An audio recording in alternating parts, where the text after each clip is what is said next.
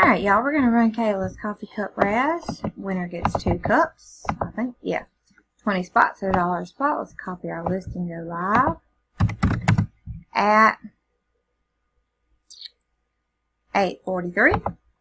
843. Paste our list. 20 spots. We're going to need a 4 or higher on the dice. Alright, we have a 9. That'll work. Here we go for the first time, still at 843. After the first time, there are 20 items on the list. Vicky Barnett is on top. Vicky Barnett is on bottom as well.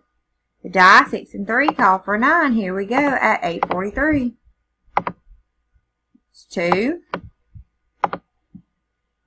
3, 4, 5, 6, seven, eight. After the eighth time, there are there are 20 items in our list with crystal on top, crystal on bottom. We have randomized eight times. Our dice, a six and three, call for a nine. Here we go for the last time at 844. Good luck, y'all. Alright, after the last time, spot number five, Deborah Walker, you're the winner. Congratulations. 20 items in our list.